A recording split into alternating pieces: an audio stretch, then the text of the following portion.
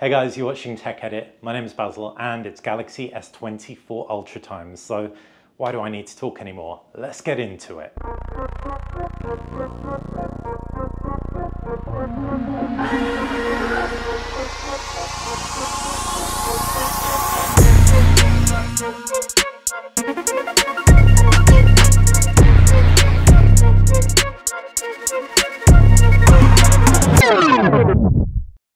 I'm at the Samsung Galaxy S24 Ultra launch in San Jose, and today I'm going to be talking you through what's cool about this device. And specifically in this video, I'm going to focus on the camera.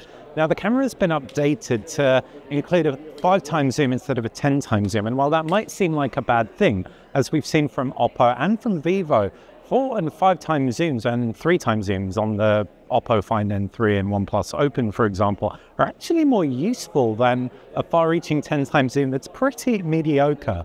And as a result, I'm actually not mad about the fact Samsung is ditching the furthest reaching zoom and swapping it out for a five times. There are a few things it's doing as well that are going to make that will just work a little bit better. It's employing AI into the Zoom technology for starters. So it's going to be able to get closer to a subject while simultaneously being able to improve the image quality, improve the clarity. Um, in addition to that, it's increased the resolution of the zoom sensor. So the sensor having a high resolution means it'll be able to combine both digital and optical zoom to get you closer to whatever it is you're zooming into. Um, and on top of that, obviously, with a more powerful processor, you can take more frames and also advanced AI computational photography. So you'll be able to artificially enhance the picture. That's all well and good in theory. And that's all this is at this stage theory, because I haven't tried it out too much. But I can't wait to in my full review. And you can be sure I'll compare it to the best from Vivo and Oppo. Okay, I know I said this was a camera video, but quickly running through the other specs, and the S24 Ultra has a 6.8 inch screen that gets up to 2600 nits at peak brightness. It also has 120 Hz refresh rate, Corning Gorilla Glass armor, which uses more recycled material and reduces reflections by about 40%, so it should do well outdoors. As for the design, it's familiar but with a twist. 232 grams, so it's on the heavier side for phones. 8.6 millimeters, so not super skinny, but not the thickest either. And it's also got that titanium frame, flat front and back, no curved screen here. The whole point of it being flatter, according to Samsung, is it creates a more comfortable canvas for writing with using the S Pen. Inside, it's Qualcomm Snapdragon 8 Gen 3 for the Ultra. The S24 and S24 Plus get Exynos chips, and you've got 16 gigabytes of RAM on the Ultra with 256 gig starting storage, 512 gigabytes or 1 terabyte options, and the starting price is £1,249 in the UK, $1,300 in the US. There's also a 5000 mAh battery, 45 watt wired charging, and there's wireless charging too. Okay, they're the main specs, but what about the camera? The main camera is a 200 megapixel sensor combined with an f1.8 lens, 85 degree field of view. There's a 12 megapixel ultra wide camera with an f2.2 lens, 120 degree field of view, and the 10 megapixel 3 times telephoto has an f2.4 lens, and it has OIS as well with a 36 degree field of view. Finally, that swapped out furthest reach zoom is a 5 times zoom 50 megapixel telephoto camera with OIS, f3.4 aperture, and a 22 degree field of view. Samsung is keen to show how powerful the zoom is on the S24 Ultra, and it's understandable given the on paper lens downgrade. You can see it reading a QR code at 30 times and 100 times zoom here, which is pretty good considering the optical maximum zoom range is just 5 times like I said. You can also see it switch from one lens to another very smoothly. It's almost imperceptible at times, and the preview on screen displays HDR effects, so what you see is going to be more representative of the shot that you end up taking.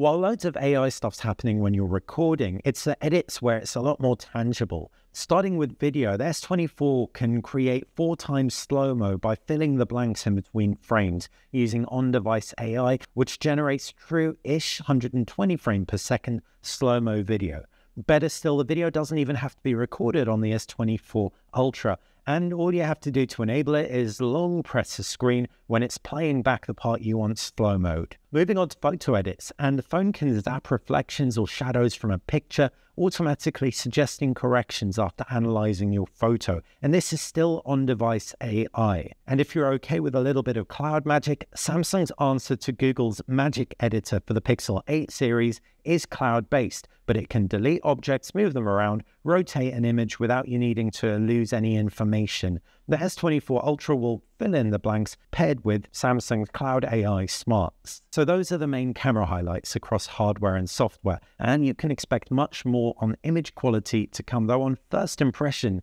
it does seem like Samsung's processing is very similar to past devices. Lively, sharp, vibrant edits that look quite good when you're pulled out, but then when you pinch in, you can see the processing in action. If you're a fan of really pared back natural processing, may not be for you, but if you love that zingy, crisp Samsung look, then this is more of the same. Now, I know I said this video would focus on cameras, but there are some other cool AI highlights that are worth mentioning before I shoot off.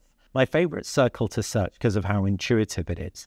When you want to visually search for anything, long press in the bottom center of the screen, circle an object with your finger, and the S24 will Google it. You can also use the S Pen.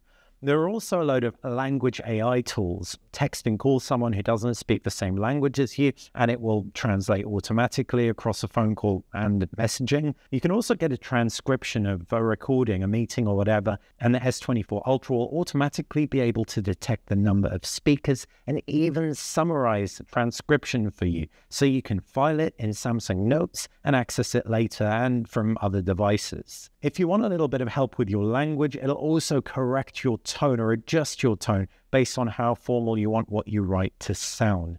This is quite clearly an iterative hardware update, but it really flexes in the software department in a way only Samsung and Apple can. These technologies look really cool, but I can't wait to see if people actually incorporate them into their lives. So, what do you think of the Samsung Galaxy S24 Ultra and all of Samsung's new AI smarts? Let me know in the comment section. Ask any questions. As I ready my review, I'll do my best to answer them. Maybe even feature them in the review itself.